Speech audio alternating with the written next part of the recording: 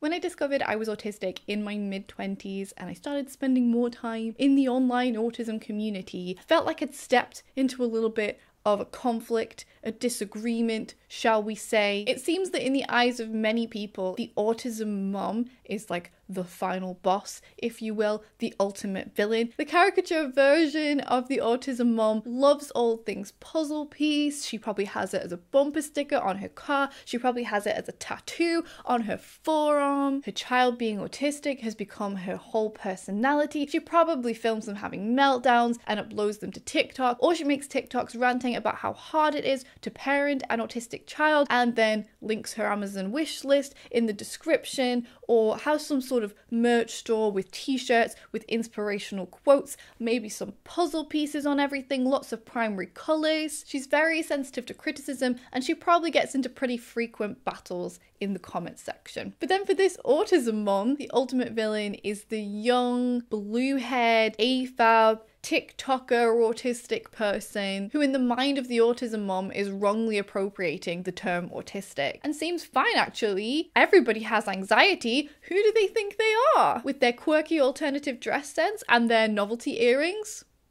They're making autism seem like just another quirky accessory. And the autism mom takes offense. This person who is seemingly so much less disabled than my child, who perhaps has excellent verbal ability, is arguing that autism is just a difference and is maybe making jokes sometimes about the autistic experience. In the mind of the autism mom, they're skewing public perception away from higher support needs autistic people. And to make matters worse, this caricature of an autistic person comments frequently on videos uploaded by the autism mom, telling them they're wrong, criticizing their parenting, and if the autism mom ever says one slightly bad thing about autism, they'll be there to accuse them of hating their children and maybe even being abusive. So I've dipped my toe into this discussion, this conflict several times before. A couple of weeks ago, I did a video responding to an interview that Buck Angel did with the mother of an autistic child and tried to dismantle some misinformation that was shared there. But today I want to see if there's a way we can bridge the gap. Why can't we all just get along? I've been asked quite a few times recently to touch on the Jubilee Middle Ground discussion video. They featured Abby, a cast member from Love on the Spectrum, and then also her mom, Christine. And Christine said a few things that really upset a lot of people in the autistic community. A lot of people in the comment section were not happy. TikTok is like a war ground, a battleground for like the rudest, meanest, most judgmental people. And sadly, a percentage of them say they are on the spectrum. So I'm going to touch on a few of those things within this video as well. But we'll get onto that a bit later. I'm going to talk about four points of contention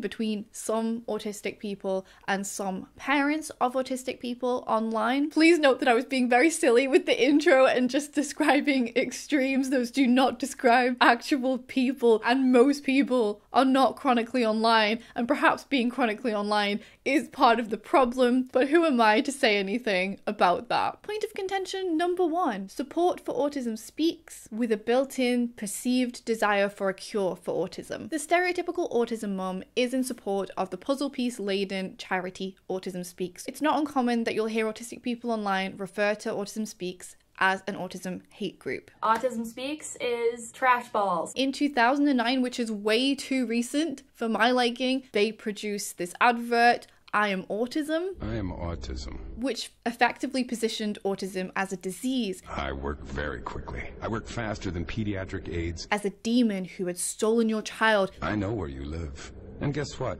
I live there too and was coming for your neighbor's child next and was plotting the demise of your marriage. I will make sure that your marriage fails. And even today, the following quote can be found on their website on their page of do's and don'ts after an autism diagnosis. Autism is like a thief in many ways. It has been known to rob children of their childhoods. It can sometimes steal the joy and hope from parents. Autism has drained a lot of bank accounts and has ruined marriages, but it does not have to be that way. Don't let an autism diagnosis do those things to you. It's giving beware of autism autism stay alert. It's not giving autism acceptance. Autism Speak's original mission was to find a cure for autism. They removed that from their mission statement in 2016. And then there's the whole vaccine thing. They say they're following CDC guidelines now. Autism Speaks is not against vaccines. We follow the CDC guidelines. But what Eileen Lamb, who is the social media manager for Autism Speaks, she's also autistic herself and she has two autistic children. What she doesn't mention here, though, and what I'm sure a lot of autistic people don't appreciate is that Autism Speaks did fund research into whether vaccines cause autism for a pretty long time. A senior executive apparently resigned in 2009, the same year of the advert. I am autism. Because she felt like they were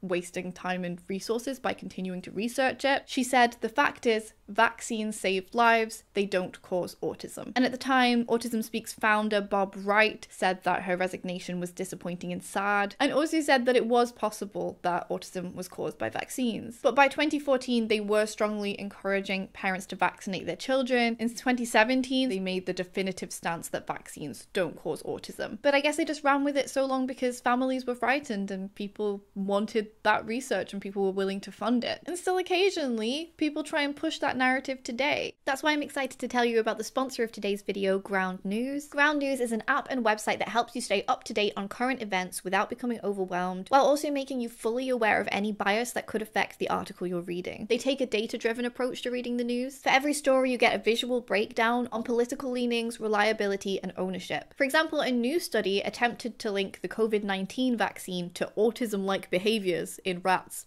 for whatever that's worth. Ground News found 19 articles reporting on this, and this includes the original study so we can compare what the scientists said to the media narrative. On the bias distribution chart, we have a visual breakdown of sources covering the story. So 21% lean left and 64% lean right. Best of all, we can compare headlines. Articles from the left emphasize that claims that the COVID 19 vaccine causes autism are unfounded. There's a warning here that the study can't be generalized to humans. As I said, there were more reports on this story from the right you can see nine articles here. This one focuses on how quickly the COVID vaccine was created, sowing doubt in its safety. And this headline from a low factuality source just outright states COVID vaccine causes autism in rats. Ground News can give you a full view of different perspectives, boosting your trust in what you see. In order to stay as non-partisan and factual as possible, Ground News don't use any ads. So you can click my link in the description below and subscribe to get 30% off their unlimited access Vantage plan, which is about 6 US dollars per month. So as I say, a cure for autism is out of the Autism Speaks mission statement, but they do continue to fund genetic research. They have a project called MSSNG, which is the world's largest whole genome database. It is a massive proposition to do thousands of genomes and then put them up in a cloud environment to allow researchers to look at that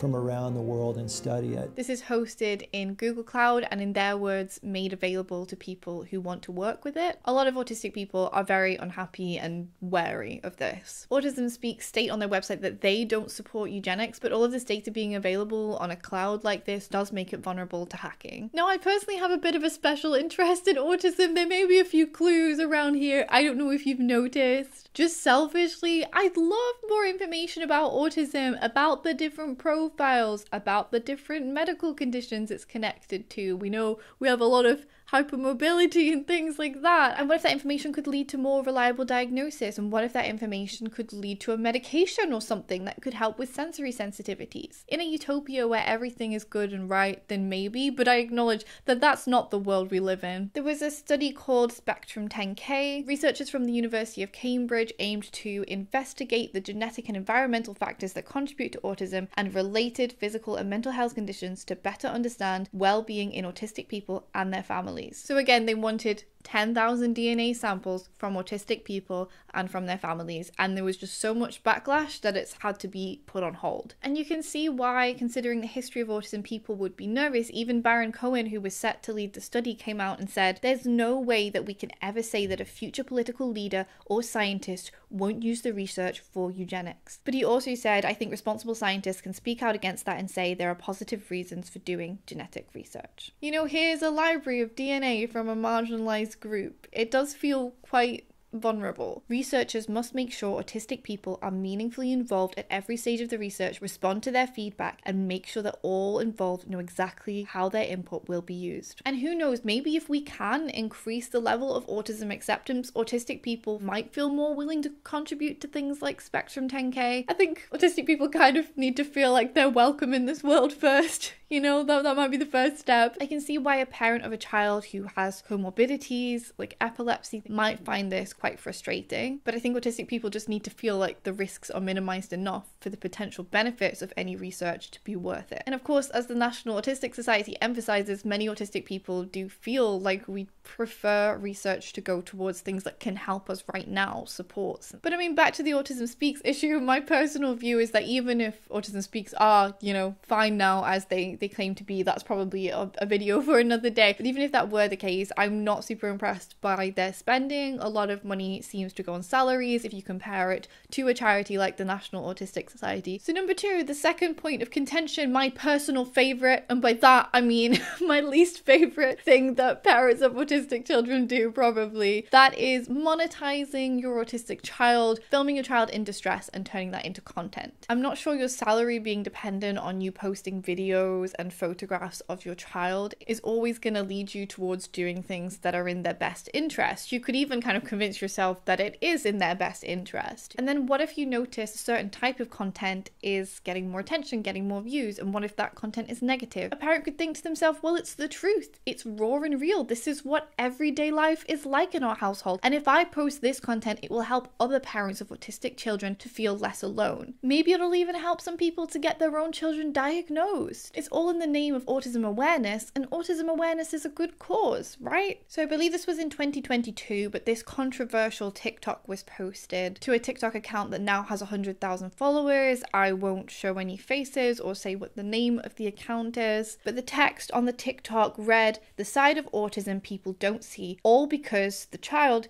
didn't get her own way. It's not always a happy house. Showing this as always said I'd keep it real. At one point, the child is picked up and thrown down onto a sofa by a man. In a response video, her mother states that he didn't throw her hard. But Ian didn't harm her in that video. He didn't throw her hard. But it kind of frightens me that you're willing to show somebody being physical with an autistic child in that way on TikTok. Like, what is going on behind closed doors if you're thinking that's acceptable to share? I just can't imagine what it would be like to have your most vulnerable moments shared online like that. It would be humiliating, it would be traumatizing. And as several people have pointed out, that content is there on the internet forever now. So your child is having a meltdown, and your first thought is, let's record this and let's put this on the internet for a bunch of strangers to see, for this child's future classmates to see, for people to see when this child is applying to university. And you can see her mum does try and justify it with just keeping it real. Maybe I shouldn't have posted it, but then if I hadn't have posted it, I would have been keeping it real, would I? And I've said from the start that I will keep everything real. And calls the people who disagreed with this content being shared haters, which is often a thing that you do see from the quote unquote autism moms. Everybody who disagrees is a hater. There's obviously been quite a lot of hate on it. I don't understand why you all hate so much. Seeing all of this stuff starts to make me feel grateful in a way that I didn't have a diagnosis when I was a child. I think for some parents, it can maybe make them start to see everything their child does through this negative lens of disorder. There's something wrong with them because there are videos of children doing quite normal things, like showing a little bit of resistance towards going to bed and things like that. I'm not undermining that obviously autistic people do have autistic meltdowns, but neurotypical children are not perfect either. We don't film neurotypical or non autistic children when they're taking too long getting ready for school and say things like, this is tantrum awareness, this is parenting awareness, this is child rearing awareness. There are unfortunately so many TikToks like this, and often the filming of the meltdown or the aftermath of the meltdown seems to kind of form part of a punishment for the autistic person. Like, look, I'm going to show everybody what you've done. So, parents who do upload their autistic kids a lot, particularly if they're very high support needs autistic kids, they do have some comebacks that I think are maybe a little bit more worth entertaining than like the whole I'm just being raw, I'm just being real thing. They say, what if only those autistic people who are able to consent are represented on social media or in any media? Won't we just be seeing one type of autistic person? Not that every autistic person is the same, we'd still be seeing a lot of different types of autistic people, but we'll maybe be missing a lot of the spectrum. And is that representation not vital? I feel very strongly that the complaints by mildly affected autistic adults don't like that language at all, that parents are violating their kids' privacy by writing about about them represent the most insidious form of censorship, said one mom. Severely autistic individuals don't have the capacity to consent. Therefore, parents are forbidden to speak about them. Therefore, the only voice the public is supposed to hear is that of autistic adults who claim to speak for the entire spectrum. In defense of autistic adults, we do tend to say the whole if you've met one autistic person, you've met one autistic person thing an awful lot. But there certainly are some people who do act kind of like their experience of being autistic is everyone's experience, or just at least sometimes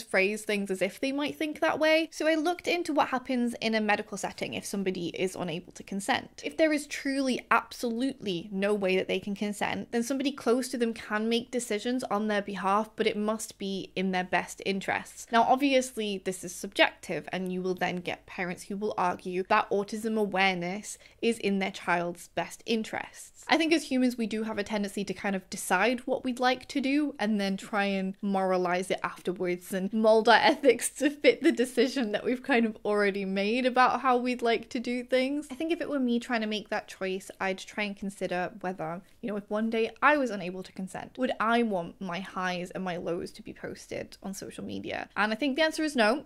I'm not hoping for a dementia with Meg account one day. Meg has dementia, now what? I'd probably still be trying to make videos for this channel myself, and everyone would be like, Meg, calm down, it's fine. Love on the Spectrum aired for the last time in 2030. Let's just go for a walk. Let's have a cup of tea. It's all going to be okay. I think you need to be clear and kind of honest with yourself, with your goals, with sharing the content as well. If a meltdown is going on TikTok, for awareness, although it may help some parents to feel less alone, you're probably also, unfortunately, creating a space for ableism, for voyeuristic viewers who do not respect your child. I have seen the most disgusting comment sections, particularly on TikTok. It can be really bad. What is achieved by this for an autistic person? I also want to say that I don't think that parents of autistic children should be banned from speaking out about the difficulties of raising an autistic child, just like I don't think any parent should be banned from speaking out about the difficulties about parenting. Just maybe sometimes that is better done in closed groups like Facebook groups. You're not going to get any nasty people in the comments that way. Well, if it's Facebook, you still might, but it, it should be less so. And there might be local groups, and maybe you could actually meet up with people who understand your situation. That might be a better way to feel supported than, like, you know, arguing over TikTok with the haters, you know? Your child is going to grow up someday and see this, one mother of an autistic child said. Is it really healthy you're letting them know they were a burden to you. Even if you don't think they'll ever grow up to understand what a TikTok is, maybe they'll never care what you post on TikTok. In that case, it would be really kind for parents of autistic people to consider the fact that other autistic people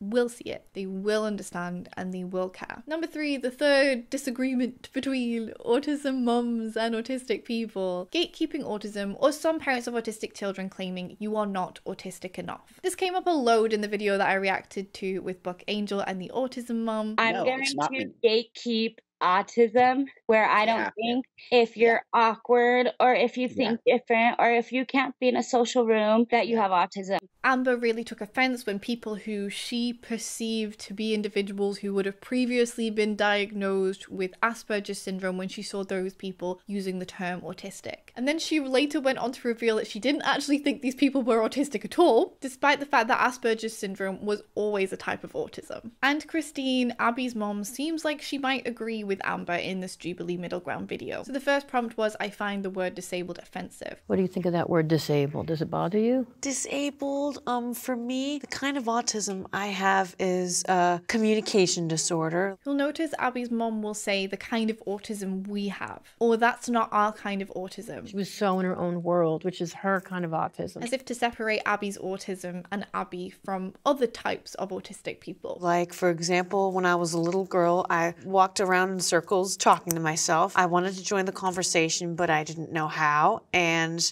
my brain wouldn't do what I was telling it to do. I've had 20 years of speech therapy, 15 years of occupational therapy to be able to talk like everyone else to get where I am today. So you think it's okay to use the word disability because it helps people understand how mm-hmm. hard you've worked? Mm-hmm. So I have the same reaction to Aiden, the guy in the pink here. I'm pretty sure I have videos on my channel where I basically kind of say the same thing. Some of my early videos when I was talking about traits of autism. When I was small, when I was in nursery, I was in a world of my own. And just walked around the edge of the playground and flapped my hands, and I saw the other children integrating and playing and doing all the things that children do, and I had absolutely no idea how to be involved with it at all. I didn't really know if I wanted to be involved. It was really confusing. And me saying I relate to Abby here, as Aiden does, I'm not trying to equate my experience to hers. And maybe this is where some autism parents get mixed up. I just love the way she articulates it here. It's brilliant. When I first saw the Walt Disney's The Little Mermaid, I really understood Ariel and she she inspired me. Ariel was my inspiration because it's just like how where she wanted to be with the humans and I wanted to be with the neurotypical people, just like that. And when Ariel became human, she couldn't talk.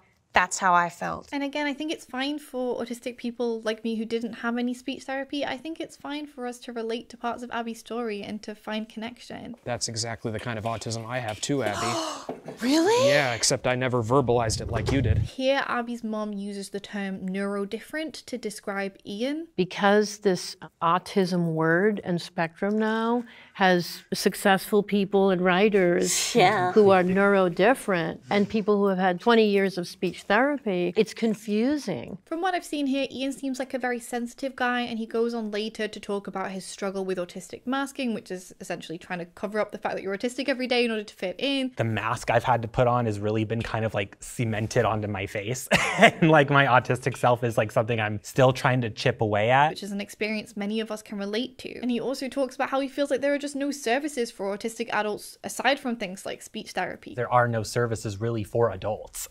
and I, that's a problem. At least like besides like ther- speech therapies and stuff like that. I, The phrase neurodifferent seems very dismissive. Neurodifferent. There's this implication that because he's successful, he's fine actually. And I just don't think that's necessary. You can tell Abby's story without diminishing anybody else's. And I doubt Christine, Abby's mom, does know very much about his story because he doesn't share an awful lot here. She's never met him before, and she also doesn't ask him. And you know what? Maybe Ian doesn't want to air his dirty laundry on an episode of Jubilee, and that's fine. An autistic person shouldn't have to prove how autistic they are in order to be taken seriously. I can't imagine how annoyed Abby's mom would be if somebody found their TikTok, they looked at some clips of Abby swimming, of Abby singing karaoke,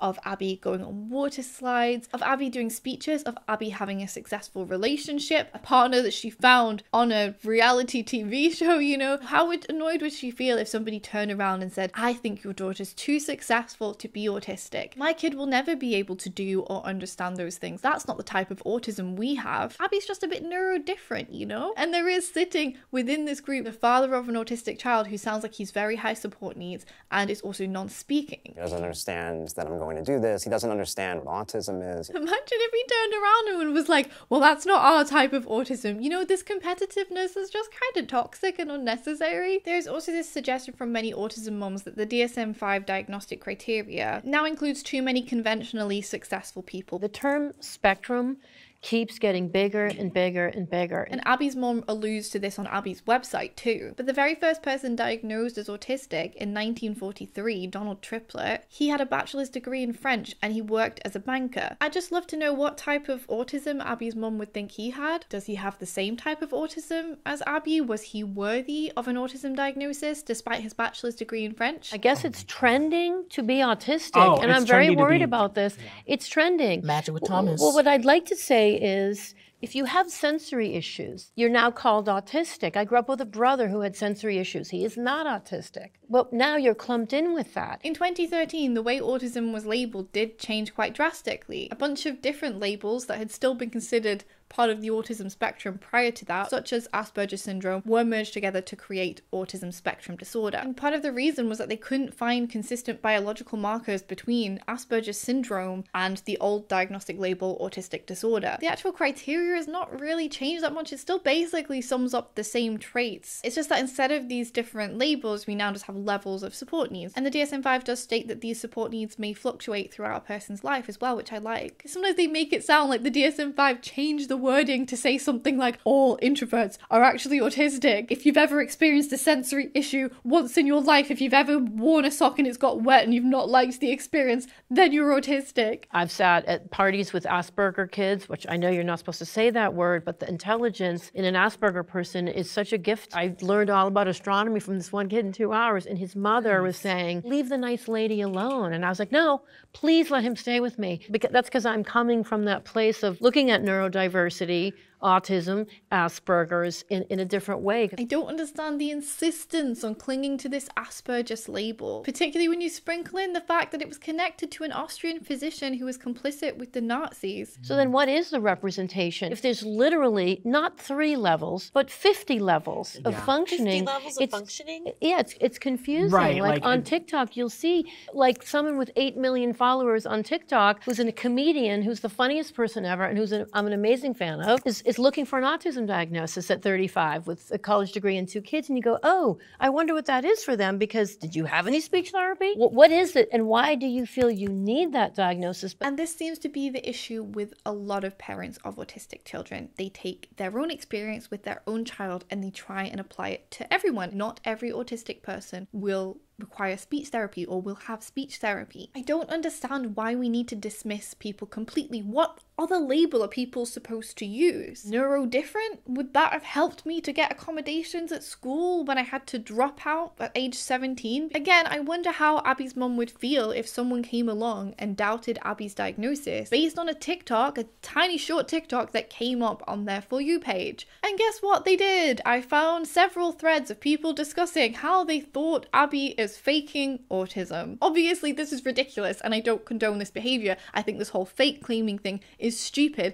and it needs to stop. People saying that is so unfair to Abby because, yes, she is an autistic person who has worked really hard to come across as well as she does now and to speak as well as she does now. And that's how a lot of us feel, even if we didn't have speech therapy. It took a lot of effort and energy to come across as quote unquote normal as we do now. This is maybe not how we were when we were children. I definitely have seen some people on social media claim that autism is not a disability. Some people say it's a difference. And I can see how a parent of a child with a lot of support needs could see that and kind of take issue with it. But what I do think is just because somebody doesn't identify as disabled and doesn't want to use that label for themselves doesn't mean they're not disabled. They may just prefer not to think about themselves that way for self esteem reasons. Unfortunately, disability is really stigmatized in our society, and maybe as that changes over time, more people will feel comfortable with coming forward, as people kind of are now on social media, and it's causing a lot of pushback.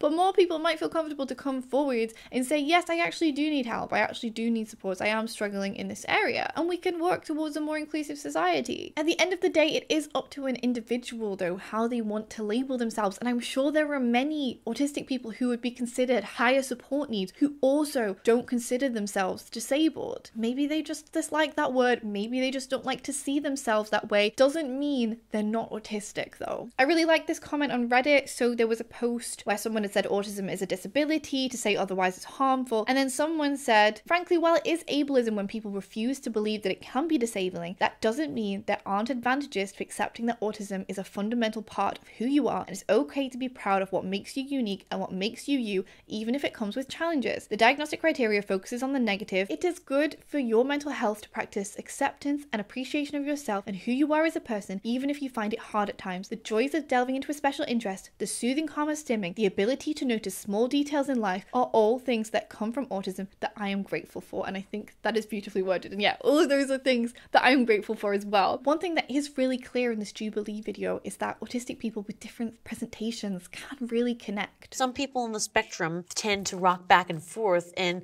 flop their hands. And That's a stim. Oh, why you gotta That's call me the that stem out? I was doing that just now. No, literally, I've been holding my hands like But- but this. that's- to try Yeah, I do that too. At the end of the day, I think a lot of this upset and anger stems from parents of autistic children feeling like there is a lack of support and then maybe kind of misdirecting that towards other autistic people. I have cried more hours on the phone trying to get accommodations and programs going for her after AT parenting than I did when she was a, a younger kid. Which leads me on to point number four autism moms makes their child's diagnosis their whole personality. And this is where I think I empathize most with autism moms or just parents of autistic children. That's not your identity. That's your child. You're weird. Okay, this person has really great eye makeup and I love their editing, but I do disagree with this point. If you're a single mom or parent, if you can't find a suitable school placement for your child, if you are only offered 48 hours of respite care a year, as one parent stated, how are you not supposed to make your child's diagnosis your whole personality? If you have a high support needs autistic child,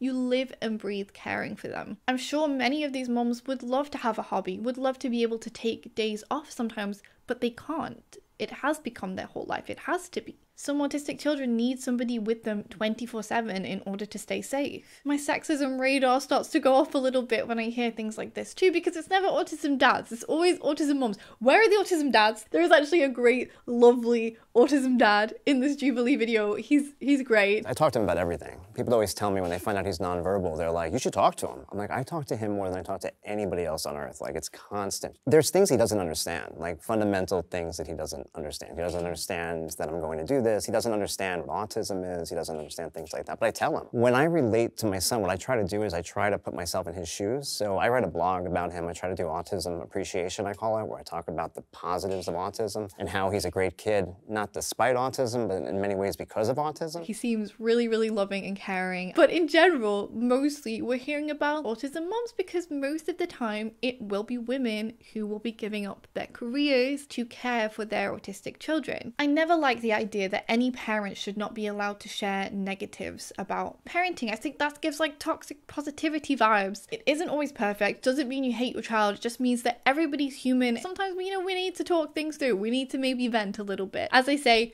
probably better to not do this on TikTok. Closed groups are probably a better space for this. In theory, you could become a carer for a loved one at anytime somebody in your life could become disabled and you could need to care for them. I love my family and I think I would step up, but it doesn't mean that that would be easy for me all the time. You know, if I wasn't able to do my work, I'd be so sad about that. And I'm sure autistic people can really relate to that, particularly if you work around your special interest. That would be really difficult. The knock of not having that second income, even though in the UK you can access some supports, it's not going to make up for the income that you've lost. If you just look through BBC News, you just see constant stories of how autistic people and their families are being failed again and again and again. There is so much that needs to be done. No wonder so many parents of autistic children are frustrated. They need more help. And I think that will definitely help us on our pathway towards autism acceptance. Obviously, there are parents out there that are abusive, that never should have had any child. That's not the people who I'm talking about here. As an autistic person, I find it somewhat offensive when people say that I'm making autism my whole personality, you know? I don't think we should be saying that about anybody else. And you know what? There probably are some parents of autistic children who are undiagnosed autistic themselves, and maybe it's become a bit of a special interest for them. I definitely had a special interest in parenting with my son for a while there, for sure. And I don't think that somebody being autistic necessarily means that they would know exactly how to perfectly parent an autistic child. You know, when you are a parent, advice from people, particularly people don't have children themselves, it can be really annoying. I do think there is value in parents of autistic children listening to autistic adults for sure. It is thanks to autistic scholars, many of whom may be considered lower support needs autistic people, but it's thanks to them that we understand things like stimming is soothing. Thanks to autistic scholars, we're learning more about autistic inertia, autistic burnout, and the theory of monotropism, which I really, really love, was created by autistic people. Monotropism potentially offers an explanation for why some autistic people are non speaking. Focusing on our shared experiences of the world, I believe, will bring us closer more quickly to our shared goal of healthier, happier lives for all autistic people and their families. I don't know, maybe I'm just being too optimistic, but I do think with both sides, maybe we just need a little bit more respect, a little bit more assuming good intent. If you would like to see more videos like this one, you can support me over on Patreon. My lowest tier is 4 US dollars a month, and if you join that tier, you can join the Discord community where you can chat to other neurodivergent people, other people who might suspect that they are neurodivergent as well. You don't have to have a diagnosis, there's no gatekeeping at the door door. It's fine. It's just a really, really lovely space. And then I also make two exclusive videos over there every month. So I do one advice video where people send in their problems, and then I also do a reaction video too. I think I'm gonna be reviewing Orion Kelly's book as the next one. But I also have one where I reacted to this documentary about a school just for autistic girls. made me cry numerous times. It was lovely though. And if you haven't seen the video where I reacted to Buck Angel's interview with the autism mom Amber, I'll leave that linked down below. And if you would like to try out Ground News, you can click my link in the description to get 30% off their Vantage plan, which is around 6 US dollars. Thank you so much. Bye.